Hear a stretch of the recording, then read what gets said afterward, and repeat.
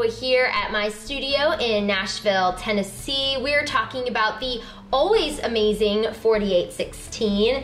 If you are curious about the 4816 or wondering how it works in home studio life, this is what this vlog series is all about, so I appreciate you tuning in.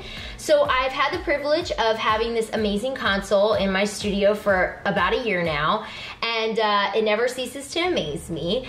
And um, I think, you know, one thing that we're always working on in studio life as gearheads and musicians is we are trying to make the most creative space that we can for people. And we want them to come down and be inviting and be able to make the music that they want to make. And um, one thing that I've noticed since having the 4816 in my studio is that I have people coming in and saying, Lizzy, this feels like a real studio. And so all the time they're saying, let's write at your place, let's come over. Like, we love what you're about, we love what you're doing, we love the space.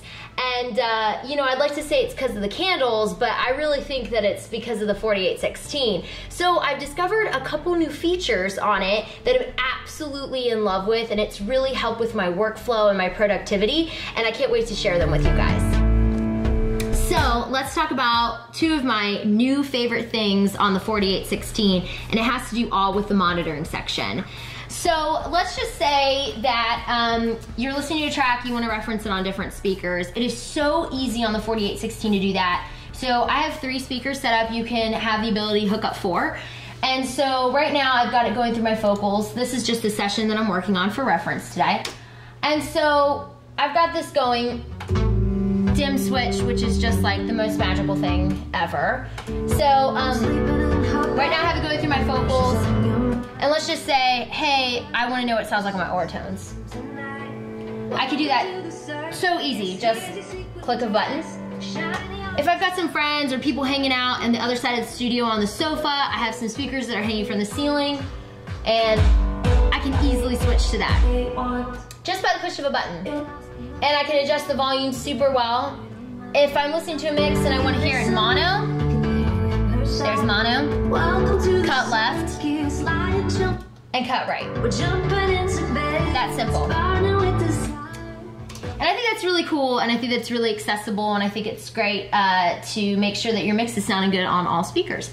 Um, so then I have a lot of artists come in and they say, hey Lizzy, oh my gosh, I love this song that's playing on the radio right now.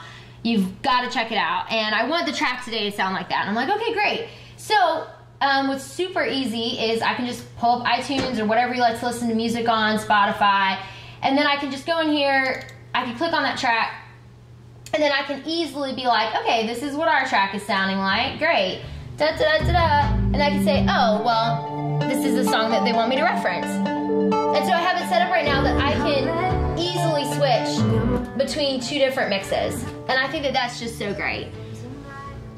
So then I have a lot of artists come in and they say, hey Lizzy, check out this song that I've got on my iPhone right now. So they'll pull up their voice memo and I have an aux cable that's set up and that's what this iPod button for is right here. It's awesome. And um, I can just listen to what they're doing. I can then switch between both modes.